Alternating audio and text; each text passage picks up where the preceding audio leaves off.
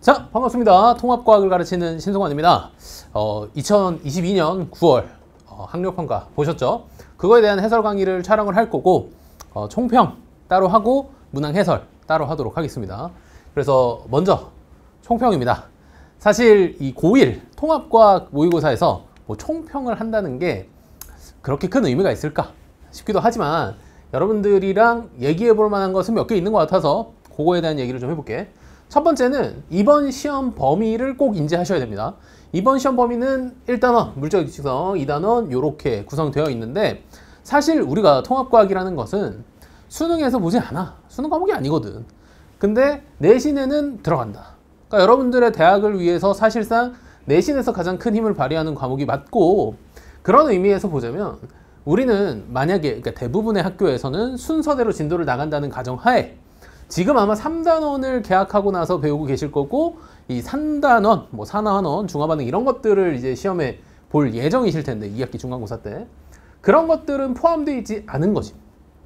근데 얘를 뒤로 거꾸로 얘기하면 사실상 우리가 다 배웠던 범위를 시험을 본 거예요. 그래서 여러분들의 성취도 평가를 목적성을 둔다면 이 시험은 꽤 적합한 시험이었다 라고 판단할 수 있겠습니다.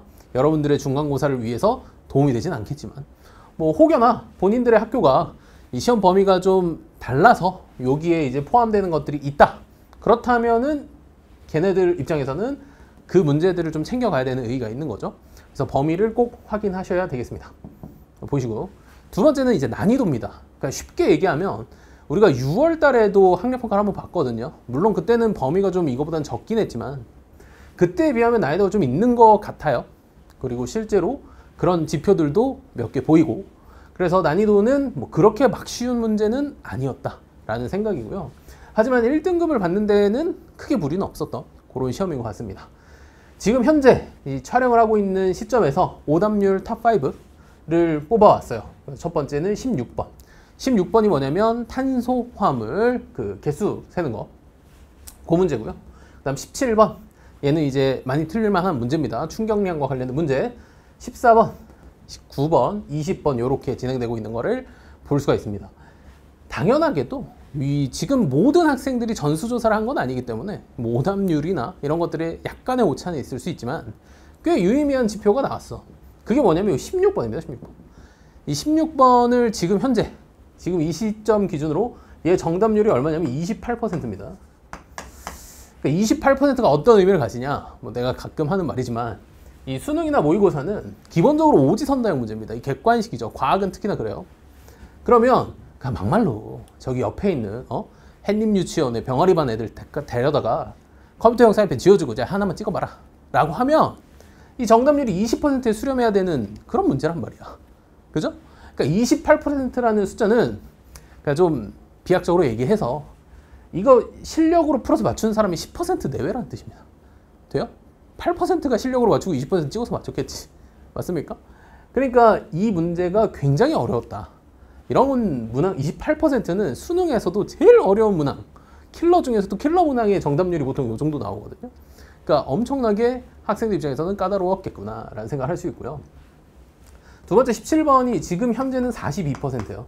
42%뭐 숫자가 그렇게 뭐가 중요하겠냐마는 절반 이상이 틀렸다는 뜻이고 개인적인 생각으로는 이거 풀어서 맞춘 사람은 더 적을 거라고 생각합니다. 그냥 직감이죠. 이런 충격량 문제는 대충 갔다 하면 맞더라 뭐 이런 느낌으로 풀어서 맞춘 학생들이 대부분이지 않을까? 그래서 난이도만 따지면 요거보다 좀 더 어렵게 나왔을 것 같습니다. 내 생각이야. 다음 14번 이후로는 사실 언급을 그렇게 하고 싶진 않아. 왜 그러냐면 이 14번 문제가 그거야. 그 발사형 경계 충돌형 경계 거기서 뭐 화산 지진 이런 것들 물어보는 지각 변동 파트인데 이거는 그냥 배경 지식이 모자라서 틀린 거예요. 그러니까 본인이 이 뭐 능력이 안 되거나 이런 게 아니라 그냥 그냥 배경 지식이 부족한 거 공부를 안 했다는 뜻이죠. 그래서 요 이후부터는 그렇게 큰 의미는 없는 것 같습니다. 그래서 이 다섯 개가 지금 오답률 1등부터 5등까지로 집계를 되고 있고요. 그 외에 이제 remind 다시 볼 만한 문제들이 있습니다.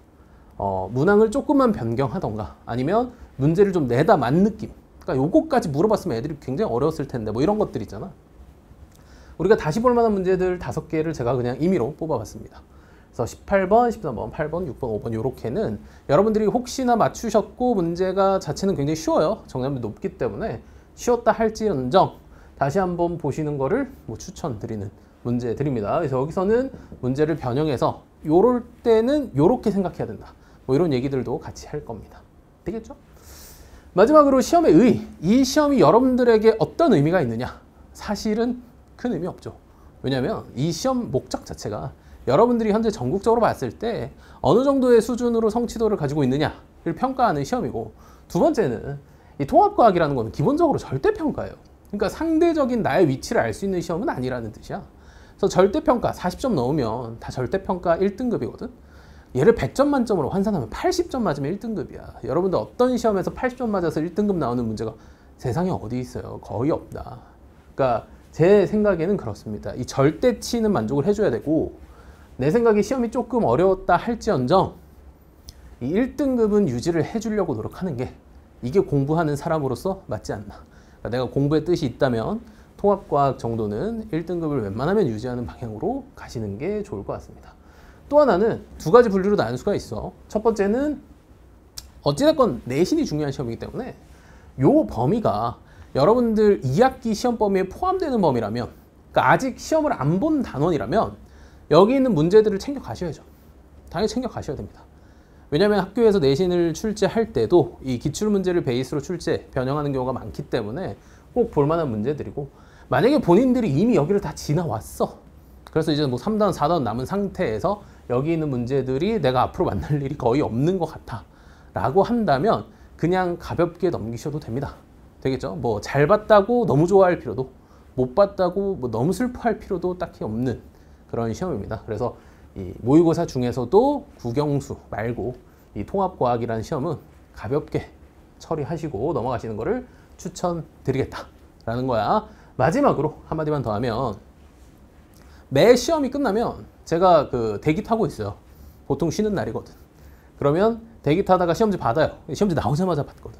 그러면 받아서 풀어서 바로 올려드립니다. 그러니까 서면으로 PDF 작업을 해서 올려드려. 왜 하냐면 해설지가 나오거든요. 교육청 모의고사는 해설지가 보통 나와. 근데 이 해설지가 특징이 줄글로 주주쭉 써 있다 보니까 실제로 문제를 푸는 학생들 입장에서는 그게 체감이 잘 안 되거든. 느낌이 잘 안 와.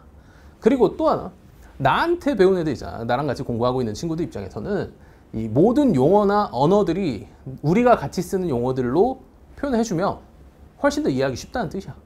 그래서 그런 것들 보고 빠르게 판단하시고 처리하고 넘어가셔도 됩니다. 되겠죠? 굳이 해설 강의 1번부터 뭐 20번까지 쭉 다 들을 필요 없어요. 그래서 그런 것들 한번 보시고 만약에 이 시험지라는 거 어찌됐건 사진이잖아.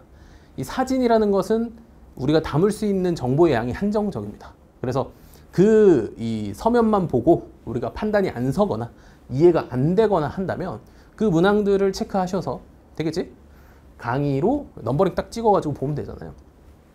그렇게 활용하시는 게 이 해설 강의를 가장 맛있게 맛있게 소화하는 방법이 아닌가라는 생각을 합니다. 그래서 총평은 이 정도 하도록 하고요. 너무 신경 쓰지 마시고요. 어찌됐건 해설 강의를 지금 듣고 있는 여러분들은 이 공부에 대한 내재적 즐거움을 아는 친구들 그리고 내가 했던 것 저질러 놓은 시험지에 대한 피드백을 하겠다는 의지가 있는 친구들이기 때문에 뭐가 됐든 칭찬드립니다. 되겠죠? 자 그러면 여기까지 하고요. 우리는 문항 해설로 넘어가도록 하겠습니다.